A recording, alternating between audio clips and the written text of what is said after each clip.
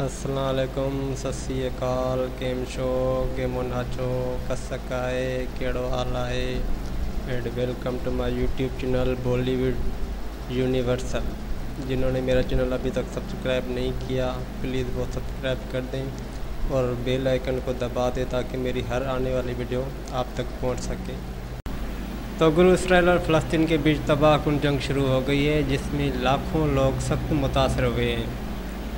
फ़लस्तीन की मजामती तहरीक हमास ने इसराइल पर हमले किए हैं, जिसमें इसराइली कर्नल समेत 600 से ज़ायद लोग मारे गए हैं और तकरीबन 1500 से ज़्यादा लोग ज़ख्मी हुए हैं।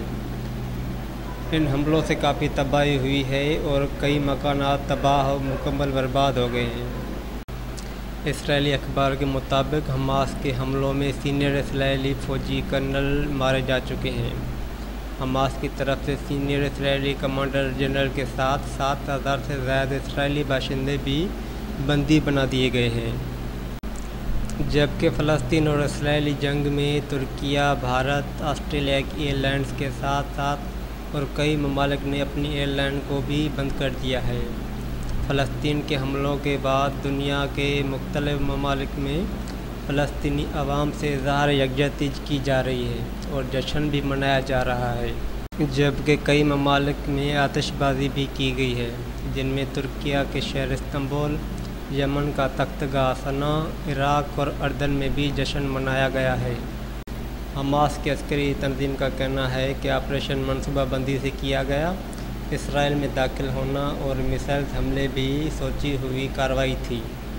दूसरी जानब इसराइल के गजा पर बमबारी के नतीजे में औरतों और बच्चों समेत 300 से ज़्यादा लोग शहीद हो गए हैं। इसराइल के वज़ी अजम ने कहा है कि हम गजा में हमास के तय खानों को खंडर बना देंगे। हमास को इसराइल पे हमलों के भारी कीमत चुकानी होगी।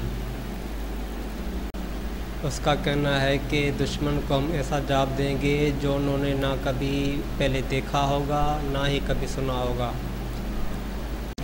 हम भरपूर ताकत से बदला लेंगे। उनका कहना था कि फ़तह की कीमत बर्दाश्त करना आसान नहीं, ये जंग लंबी और सख्त होगी, मगर हम लड़ेंगे, बदला लेंगे और जंग जीतेंगे। दूसरी जानब ओआईसी की तरफ़ से इसराइली जारहत की मजम्मत की गई है।